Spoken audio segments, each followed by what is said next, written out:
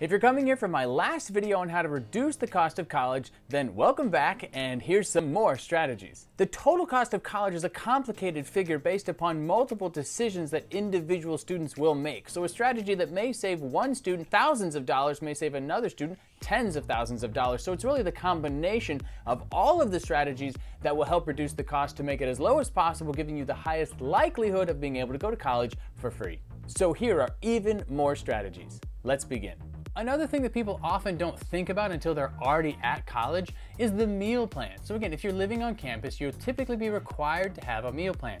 And usually there are tiers of meal plans. Now, some schools offer different styles of meal plans, kind of like a, an unlimited plan, or a, you know, if you have sort of a cafeteria that you have to use a, a card and you swipe in to go into the cafeteria, then there's a certain number of swipes. It's not based on meals or whatever. Some schools, they do it based on meals, and it's like you can sign up to get breakfasts, or you can sign up to get lunches, or dinners, or all three, or what. So the types of meal plans are gonna vary. Again, it might not be exactly like what we discussed here, but just understand that there's usually different levels of meal plans and you often don't need the highest level. And we'll get into the details here in just a second. Let's say your school offers it by meal. So breakfast, lunch, and dinner.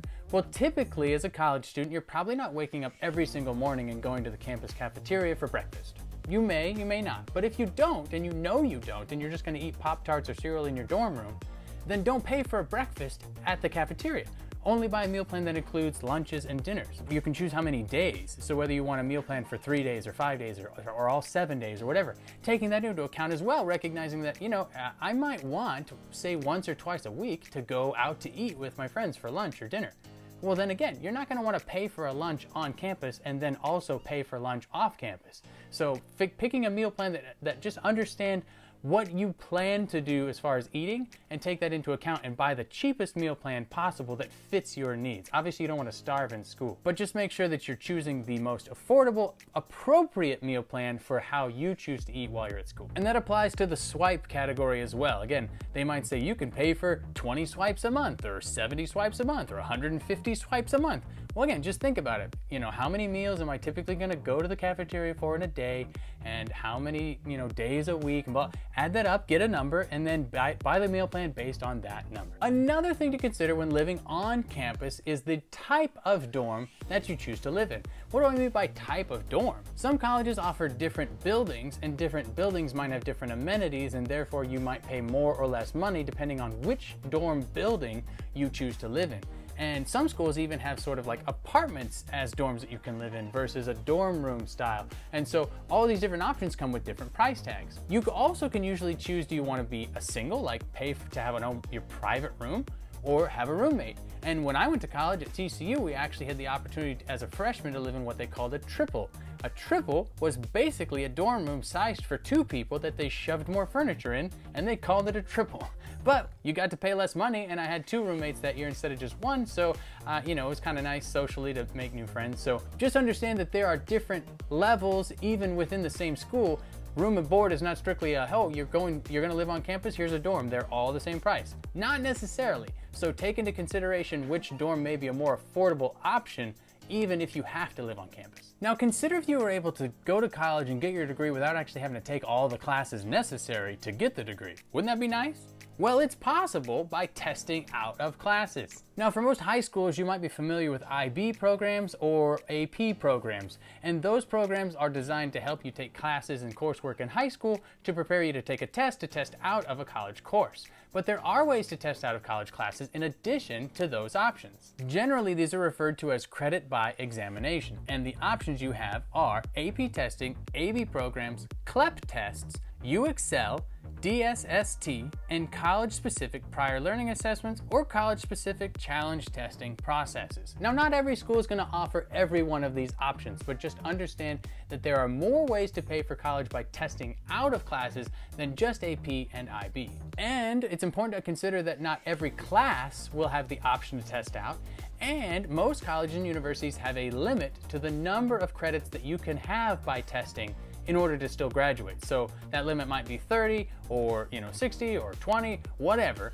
but just know that you can't basically get your entire degree from a college by taking a test and testing out of every single class and never actually having to attend any classes.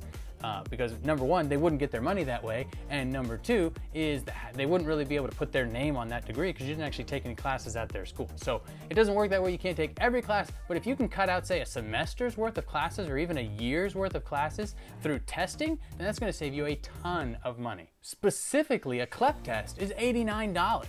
So if you go to a school that has, you know, $1,000 per credit hour and you're taking a three credit hour class, that class is gonna cost you three grand to take at the school.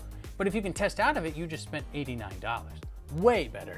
And it's gonna save you time. Like I said, if you can test out of a semester or a year's worth of classes, not only is it gonna reduce how much you have to pay, but it's gonna save you time. You could graduate a semester or year earlier than everybody else because you didn't have to take those classes. So it's not just about money, it's also about time. And the money you're to save is more than just tuition. Because yes, you might have saved a semester's worth of tuition and fees because you don't have to go to those classes, but you also saved a semester's worth of living expenses, room and board, books. So you, you save on all college expenses by graduating early. And beyond that, you're just going to enjoy the college experience more if you're not having to take a bunch of classes that you didn't really want to take in the first place. A lot of times the, the class that you're going to test out of are going to be your general education courses. So you typically are taking gen ed courses in classes that you have to take that have nothing to do with the degree program you really want to learn about. And so it's just a requirement like taking a history class if you're a science major. You know, you don't really necessarily want to take the history class. Now some people do. I'm not saying that you're not interested in things. I'm just saying, you know, English classes are required classes regardless of whether your degree is in English. Math classes are usually required classes whether or not your degree is actually in math or has anything to do with math. So these are classes that you have to take. You might not want to take them. So if you can test out of them, even better. So what are some of the specifics about these different ways to test out of classes in college? Well, let's start with the AP and the IB. So these are tests that you're gonna take after completing a course while you're in high school. With AP testing, you usually take a more challenging version of the same class you would have had to take anyways, which qualifies you to take a test for the AP test to not have to take that subject matter when you get to college. I was able to take advantage of AP testing and test out of, uh, I think, an English class and two semesters of calculus, and so that actually allowed me to save about $9,000 because at the time I think the tuition rate for my school was like $1,000 per credit hour, and so, you know, I saved a ton of money just by taking these tests through AP classes in high school. I know sometimes it's hard to see the tangible benefit when you're just in the class and you're having to come home and do a reading assignment or do a, you know, homework or something, and you're just like, oh, why am I doing all this? But when you get to see real dollars and cents on the back end, it, you're really glad that you did it, trust me. Now, IB programs work similarly with AP tests where you are taking a test to test out. There's a few differences. One difference is that there's two levels for IB. There's a standard level and a higher level. Many colleges will only accept credit if it's the higher level IB class. And IB classes usually have a more strict criteria for what the teachers have to grade, including an oral presentation. This is part of what's referred to as the internal assessment, and then there's the external assessment, which is the IB test. The actual tests of AP and IB are a little bit different too. AP tests are usually more knowledge-based and therefore more multiple choice. IB tends to focus more on application, so there's more short answers. Now, part of choosing which direction to AP or IB, is whether your school offers it. When I was in school, I had AP testing as an option. IB wasn't even offered at my school, so obviously that kind of made the choice for me. But if you are in a position where you have the choice to do either one, then just look into the specific ways the programs are different. Again, AP tests more knowledge-based, IB tests more application-based. Think about those kinds of things when you decide which direction to go. And cost might also be a factor, but they're pretty close. I mean, a typical AP test is about $94, while an IB test is like 119. But some schools offer a fee waiver, so depending on your high school and your financial situation, check and see if they'll offer financial assistance, including a fee waiver to take the AP or the IB test. Now, CLEP testing. CLEP stands for the College Level Examination Program, and it's offered by College Board, which is the same organization that does the SATs and the PSATs, and even hosts the AP test. So CLEP test is just another part of the ecosystem of testing that they provide. There are 34 different CLEP tests and subjects that you can choose to test out of. I'm not going to get into all the test subjects here, but you can see the whole list by going to clep.collegeboard.org, and you can get more information there. But just know that CLEP tests are another great way to pay less for college education if your college accepts them, and that's because the price tag is only $89. This is significantly lower than the typical cost of education, even community college. Now there was another thing called the U-Excel. This is through the Excelsior College. You're basically taking an Excelsior College exam to get credit at Excelsior College, but you can transfer that to other schools using the UExcel process. So it's similar to the CLEP test in that you're gonna take a test so that you don't have to take the course and you're gonna get a college credit for doing that. A caution on this is just that you have to make sure ahead of time that the college you plan to attend will accept UExcel credits. So always make sure that your university will accept the credits before you take the test. Now there's something called DANTES, which is the Defense Activity Non-Traditional Education Support.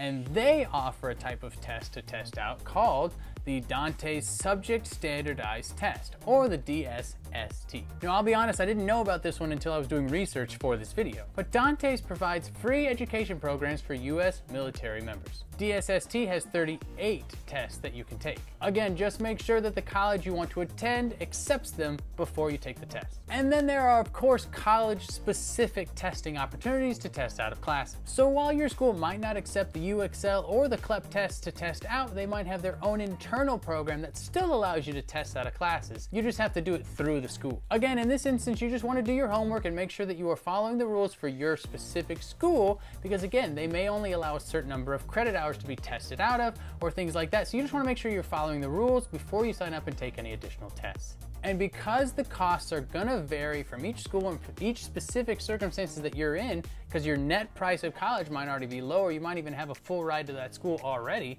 So, you know, taking that into account, maybe testing out might not make sense or might not be the best option. And you have to know how testing out of a class might affect your enrollment status. Sometimes you might take a test and it might test you out of two credits instead of all three or all four, something to that effect.